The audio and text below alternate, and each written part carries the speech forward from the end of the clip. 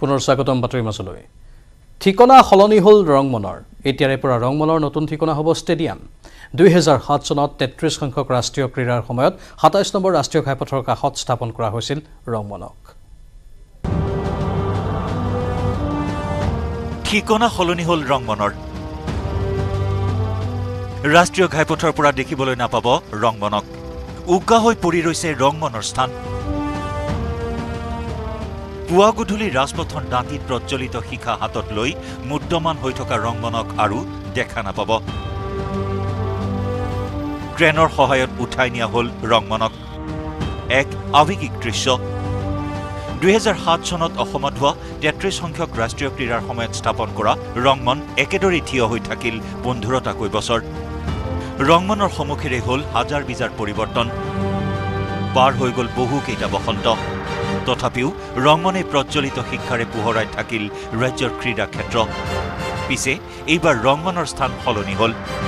ঘাইপথ সম্প্ৰসাৰণৰ বাবে বুধবাৰে নিৰ্দিষ্ট স্থানৰ পৰা স্থানান্তৰিত কৰা হ'ল ৰাষ্ট্ৰীয় ক্ৰীড়া সমাৰোহৰ মাস্কট ৰংমনক গুৱাহাটী মহানগৰীৰ মাজেৰে যোৱা ৰাষ্ট্ৰীয় ঘাইপথৰ কাষত সৰুসজাই ষ্টেডিয়ামৰ সন্মুখত এতিয়াৰে পৰা আপুনি আৰু দেখা নাপাব ৰংমনক প্ৰতিটো যাত্ৰাৰ সময়ত এখন চিনাকি মুখ হৈ পথৰ কাষত থিয় দি থকা ৰংমনক নেদেখিলে উকা উকা নালাগিবনে? ৰাষ্ট্ৰীয় ক্ৰীড়াৰ আয়োজক ৰাজ্য হিচাপে সৰুসজাইত স্থাপন কৰা মাস্কট ৰংমন সাক্ষী হৈছিল ৰাজ্যৰ ক্ৰীড়া ক্ষেত্ৰৰ প্ৰতিটো উত্থান পতনৰ। ৰাজপথেৰে আপুনি গৈ থাকিলে আপোনাক হাউল বাউল দিবলৈ ৰংমন আৰু নাথাকিব। অৱশ্যে সৰুসজাই ষ্টেডিয়ামৰ সন্মুখতে ৰাজপথৰ পৰা কিছু ভিতৰলৈ পুনৰ সংস্থাপন কৰা হ'ব ৰংমনক। আমি আশা কৰিম অজস্ৰজনৰ হৃদয়ত বিশেষ স্থান লাভ কৰা ৰংমনক নিজৰ স্বকীয়তা আৰু গৰ্ব অটুট ৰাখি নতুন স্থানত কৰা হওক সংস্থাপন। অটুট থাকক ৰংমনে দিয়া প্ৰেৰণা আৰু উৎসাহ। বশিষ্ঠৰ পৰা উৎপল হালৈৰ সহযোগত বিপুল বৰ্মনৰ report news eighteen Assam north east.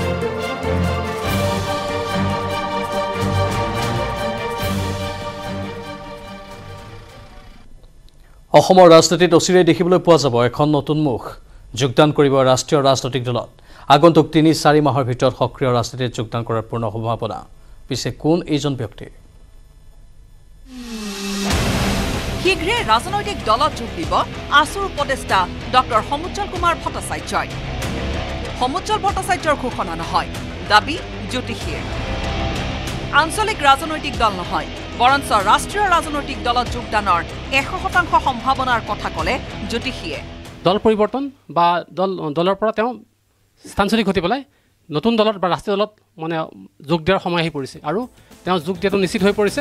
Doctor সমুজ্জ্বল কুমাৰ ভট্টাচাৰ্যৰ ৰাশি চক্ৰ গণনা কৰি তেজপুৰৰ যুৱ জ্যোতিষী দিব্যজ্যোতি শইকীয়াই কৰিছে এই দাবী।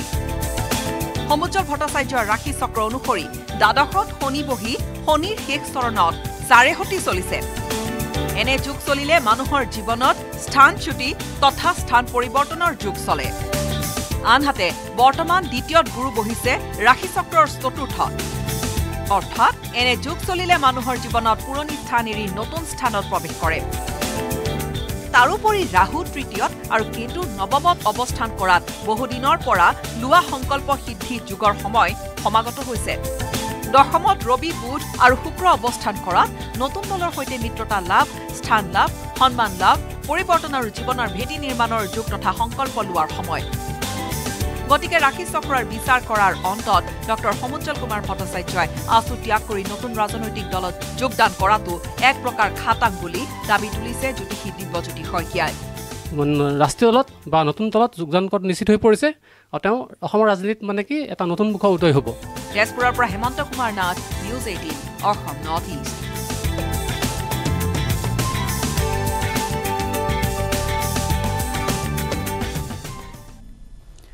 ড্ৰাগছৰ প্ৰচলন ৰোধ কৰিবলৈ মাৰ বান্ধি থিয় দিছে নগাঁৱৰ মছজিদ কবৰস্থান কমিটি।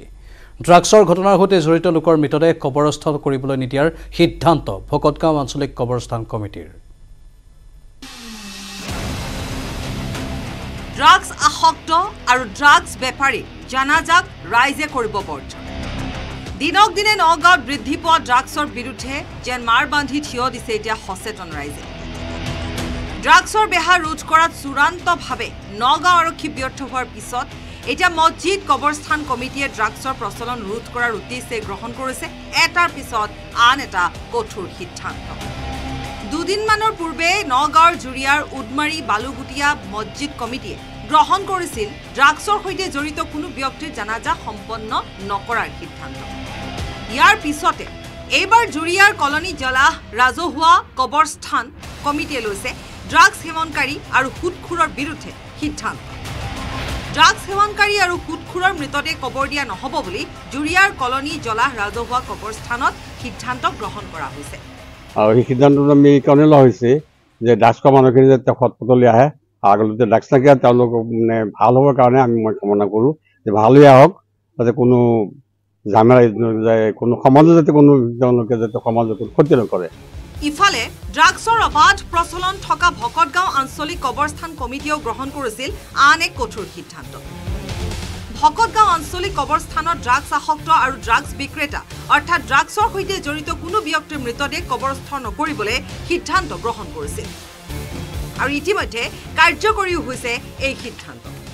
ড্ৰাগছ যিসকলে খায় আমাৰ ইয়াত খুব কম বয়সীয়া ল'ৰা ঢুকাইছে কেইবাটাও। তাৰপিছত আমি এটা সিদ্ধান্ত ল'লোঁ যে আমাৰ সিদ্ধান্তত যদি তেওঁলোকে ভাল হৈ যায় যে আমি এই গুৰুস্থানত এই কবৰস্থানত আমি ড্ৰাগছ খোৱা মানুহক কবৰ দিবলৈ নিদিওঁ।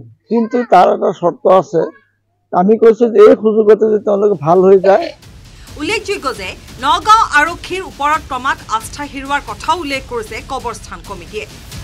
উদমাৰী মছজিদ ভকতগাঁও কবৰস্থান কমিটি তথা কলনী জলাহ কবৰস্থান কমিটিয়ে ড্ৰাগছৰ বিৰুদ্ধে গ্ৰহণ কৰা এনে কঠোৰ পদক্ষেপক আদৰণি জনাইছে স্থানীয় সচেতন ৰাইজে। ৰূপহীহাটৰ পৰা মুজামিল হকৰ সহযোগত নগাঁৱৰ পৰা Nilotpal Bora report news eighteen Assam north. আৰু বাতৰিত পুনৰ সময় হ'ল চমু বাণিজ্যিক বিৰতিৰ। সাধাৰণ ষ্টীল এনেকৈ পৰে। মাইথন ষ্টীল এনেকৈ পৰে। ধমকৈ।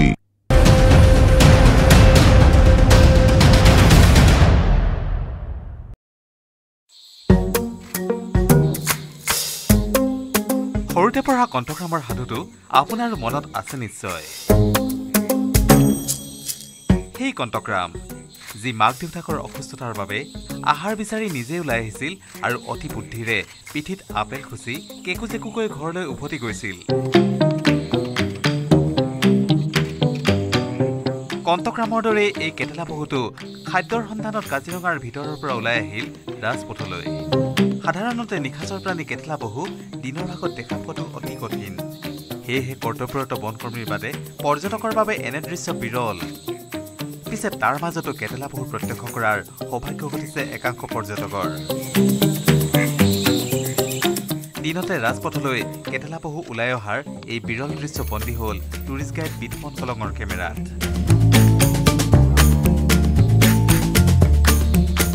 সাধাৰণতে আমাৰ যিটো কণ্ঠগ্ৰাম কেটেলা পহু সেইটো ৰাতি ওলায়।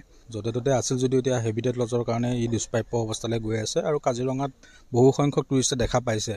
আৰু যিসকলে ভিতৰত কৰ্তব্যৰত অৱস্থাত থাকে তেওঁলোকে বহুতবাৰ দেখা পাইছে। কণ্ঠগ্ৰামে বা আমাৰ কেটেলা পহুখিনিয়ে ফল মূল গছৰ গুটি শিপাৰ গছৰ শিপা গ্ৰাছলেণ্ডৰ যিখিনি গুটি সেইখিনিয়ে খায়। উল্লেখযোগ্য কাজিৰঙা ৰাষ্ট্ৰীয় উদ্যানত কেটেলা পহুৰ সংখ্যা নিৰ্ধাৰণ হোৱা নাই যদিও বিভিন্ন এলেকাত বহু সংখ্যক কেটেলা পহুৰ বিচৰণ প্ৰত্যক্ষ কৰিছে বনকৰ্মীয়ে কাজিৰঙাৰ পৰা Bidhuwan Bora news eighteen Assam north east.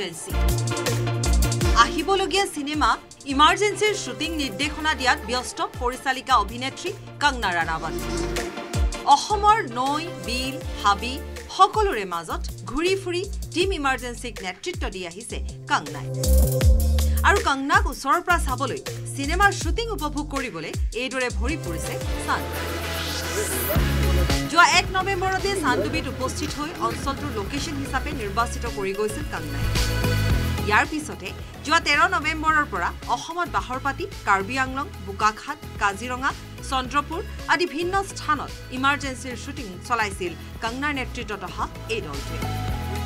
সঁচাকৈ আমাৰ কাৰণে গৌৰৱৰ কথা কাৰণ আমিতো এনেকুৱা ধৰণৰ ছেট বা এই ধৰণৰ কেমেৰা বা এই ধৰণৰ বস্তুকেইটা সন্মুখৰ পৰা দেখিয়ে পোৱা নাই।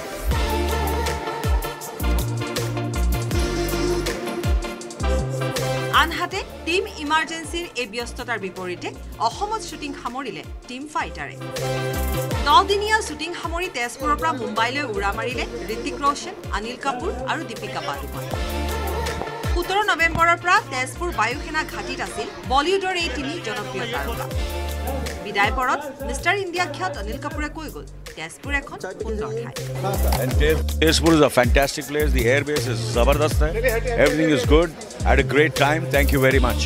See you soon. See you soon. See you soon.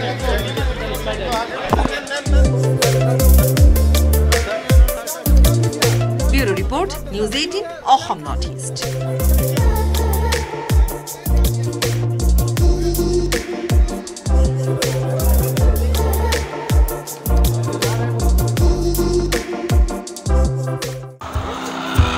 কন্যাকাৰ কণীয়ে এতিয়া দখল কৰিছে বজাৰ বাহিৰৰ আমদানিৰ বজাৰক কন্যাকাৰ কণীয়ে প্ৰত্যাহ্বান জনোৱাৰ কুচকাৱাজ ঔদ্যোগিক ক্ষেত্ৰখনৰ এটা সফল নাম হৈ পৰিছে জামুগুৰিহাটৰ কন্যাকা। চতিয়া সমষ্টিৰ বিধায়ক পদ্ম হাজৰিকাৰ মাছ মাংস আৰু কণীৰে বজাৰ দখলৰ সপোন এতিয়া যেন এশ শতাংশ সফল হৈ পৰিছে। অন্ধ্ৰপ্ৰদেশ মধ্যপ্ৰদেশ উত্তৰ প্ৰদেশৰ কণীক প্ৰত্যাহ্বান জনাই কন্যাকাত ৰিক্সা চ্যালেঞ্জ জ্যাদা আচ্ছি কামাই কা ৱাদা Kumar Engineering, exceeding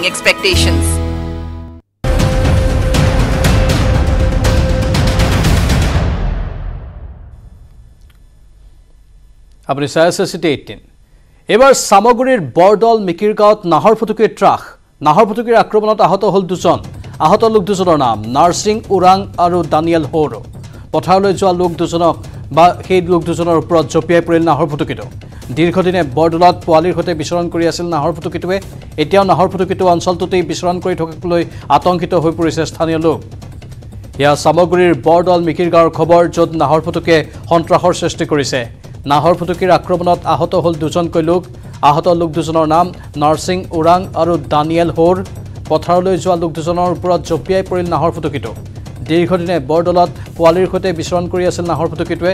এতিয়াও নাহৰ ফুটুকীটো অঞ্চলটোতেই বিচৰণ কৰি থকাক লৈ আতংকিত হৈ পৰিছে স্থানীয় লোকসকল। কি আছিলে? বাঘ আছিলে? নাহৰ ফুটুকী বাঘ ইমানটো। আচ্ছা অঁ। অঁ নাহৰ ফুটুকী বাঘ ইমানটো উম, ৰাতিপুৱা এঘাৰটামান বজাত এজনক তাৰমানে মাৰিলে তাত জখম কৰিলে।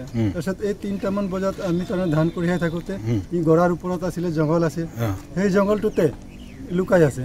যেতিয়া এনেকৈ বান্ধিবলৈ লৈছে বান্ধোতে ই জঁপিয়াই তাক তাৰমানে বাগৰি পেলালে। মই যেতিয়া বাউকাত দুই কোব মাৰিলোঁ তেতিয়া বাঘটো পলাই গ'ল। কি নাম সেইটো মানুহজনৰ নাম কি? দানিয়েল হৰ। আঘোণৰ পথাৰত ধান কাটিছে বিজেপিৰ ৰাজ্যিক সভাপতি ভৱেশ কলিতাই।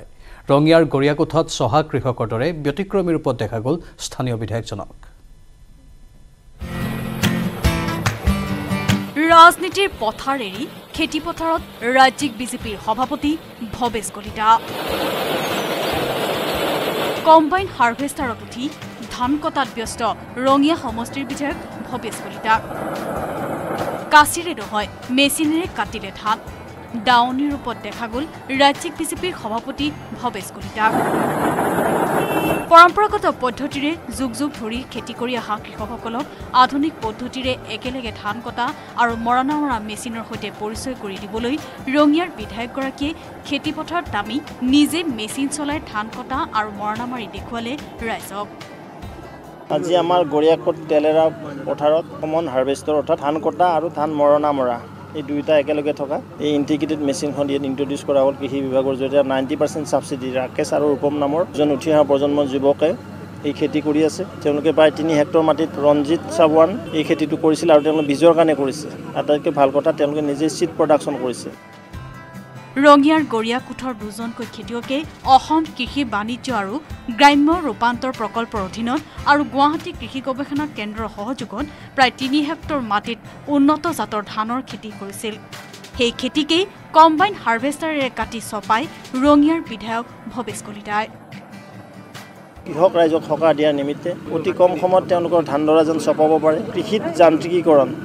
এই যান্ত্ৰিকীকৰণ অভিযান আৰম্ভ কৰি এই খেতি পথাৰত এইটো ইণ্ট্ৰডিউচ কৰা হৈছে। মই ধন্যবাদ দিছোঁ বিভাগক লগতে কে ভি কে আৰু এগ্ৰিকালচাৰ ডিপাৰ্টমেণ্টক আশা কৰিছোঁ কৃষকসকলে এইখনক আদৰি লওক। ইপিনে লখিমপুৰ লোকসভাৰ সাংসদ প্ৰদান বৰুৱা জোনাই সমষ্টিৰ বিধায়ক ভূপেন পেগুক দেখা গ'ল। আঘোণৰ পথাৰত ব্যতিক্ৰমী ৰূপত। বৃহস্পতিবাৰে কেন্দ্ৰীয় বিজ্ঞান কেন্দ্ৰ ধেমাজিৰ উদ্যোগত আনুষ্ঠানিক শস্য চপোৱা অনুষ্ঠানত ধেমাজিৰ চেঁচাজান পথাৰত কৃষকৰ সৈতে ৰবাব টেঙাৰ জুতি লোৱাৰ লগতে ধান কটা মেচিন চলালে দুয়োগৰাকী জনপ্ৰতিনিধিয়ে। আচল খাদ্য উৎপাদনৰ আহিলাবোৰ যোনটো যাত্ৰীকৰণ হোৱাৰ প্ৰয়োজন আছিলে এতিয়া প্ৰকৃতাৰ্থত এইখন চৰকাৰৰ দিনত হৈছে। মই সেইকাৰণে চৰকাৰক ধন্যবাদ জ্ঞাপন কৰিছোঁ। আৰু এগ্ৰিকালচাৰ চাইণ্টিষ্টসকলক মই ধন্যবাদ জ্ঞাপন কৰিছোঁ। ইফালে কৃষি বিজ্ঞান কেন্দ্ৰ ধেমাজিয়ে এইবাৰ জিলাখনৰ সাতশ পঞ্চাছ বিঘা ভূমিত পৰীক্ষামূলকভাৱে বানৰ সৈতে মোকাবিলা কৰিব পৰা ধানৰ খেতি কৰিছে। ধেমাজিৰ পথাৰত উপলব্ধ হোৱা এই ধান কটা মৰা মেচিনৰ জৰিয়তে কৃষকসকলে যথেষ্টখিনি লাভান্বিত হ'ব বুলি মন্তব্য কৰে কৃষি বিজ্ঞান কেন্দ্ৰৰ মুখ্য কৃষি বিজ্ঞানী ডক্টৰ গুঞ্জন গগৈয়ে। মিনি কম্বাইন হাৰ্ভেষ্টাৰ আমাৰ যিটো থাকে সেইটো আমি ইয়াত প্ৰয়োগ কৰিছোঁ। আৰু সকলোৱে দেখিছে যে ইয়াত মেচিনটোৰ জৰিয়তে আমি সুন্দৰভাৱে ধুন- কাটিব পাৰিম। যিকোনো ধৰণৰ ধান যিকোনো পথাৰত গৈ পেলাই এই মেচিনটোৱে কাটিব পাৰে। গতিকে মই ভাবিছোঁ অনাগত দিনত এই এনেকুৱা ধৰণৰ মেচিনৰ সংযোজনে আমাৰ কৃষক ৰাইজসকলক কৃষক ৰাইজক যথেষ্ট সহায় কৰিব বুলি ভাবিছোঁ। ৰঙিয়াৰ পৰা ইনামুল ইছলাম আৰু ধেমাজিৰ পৰা Mon Bikash Buragohain news eighteen Assam north east.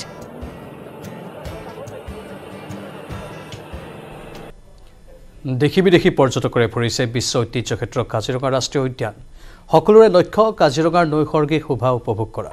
ইয়াৰ মাজত এনে একাংশ পৰ্যটক থাকে যি অনায়াসে লাভ কৰে কাজিৰঙা ৰাষ্ট্ৰীয় উদ্যানৰ বিগ ফাইভৰ দৃশ্য। কিন্তু কি এই বিগ ফাইভ চাওক এই ৰিপৰ্টত আৰু বিদায় লৈছোঁ এতিয়া বাতৰিৰ পৰা। নমস্কাৰ।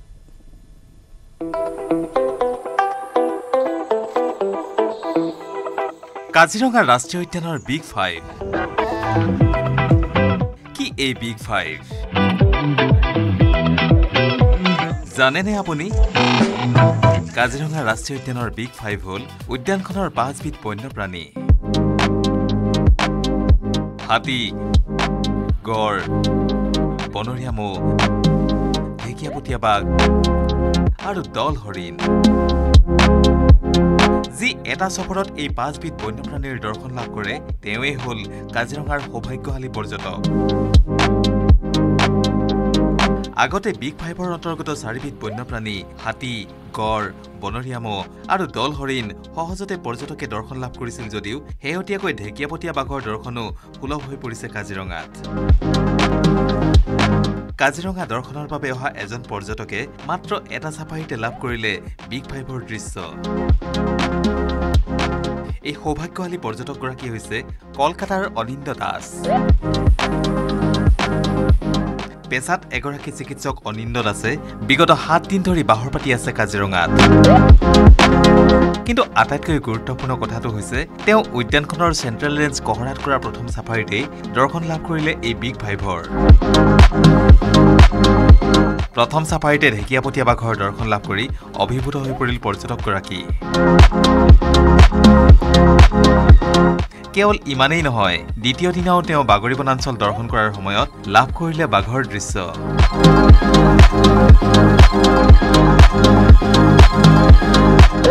टाइगर साइटिंग तो फर्स्ट डे में ही मिला था उसके बाद सेकेंड डे में भी मिला सेकेंड डे में तो बहुत अच्छा সাধারণ স্টিল